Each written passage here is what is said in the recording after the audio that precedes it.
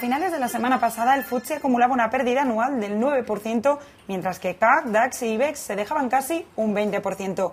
La crisis de deuda, la posible quiebra de Grecia y los problemas del sector bancario han pesado enormemente este año sobre la renta variable europea, aunque la caída de los precios podría estar haciendo que muchos inversores se fijen de nuevo en esta región.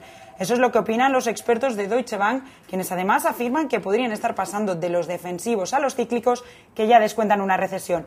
Afirman que los múltiplos actuales de este tipo de valores implican caídas en sus beneficios similares a las de 2008-2009, así que deberíamos estar alerta ante la posibilidad de cambiar de defensivos a cíclicos.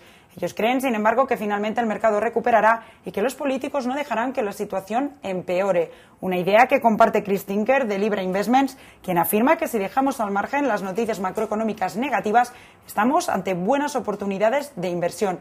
Él cree que existe una correlación del 93% de media entre los sectores y el mercado.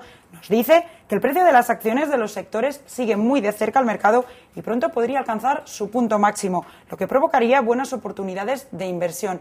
Una idea que también comparte Chris Pinode, gestor de fondos londinense, quien afirma que en el contexto actual habría llegado el momento de comprar. Él cree que la crisis conllevará resolución y que lo hará con precios más elevados y que por resolución entiende recapitalización de los bancos, algo que él cree que es inevitable.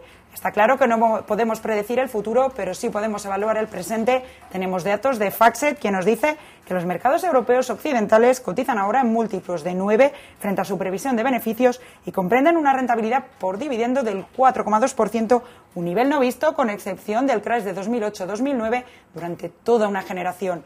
Europa espera ahora la apertura americana con importantes subidas, mientras que los futuros norteamericanos lo hacen con subidas del 0,5% de media. Esto es todo por ahora, les dejamos luego con el cruce de mercados.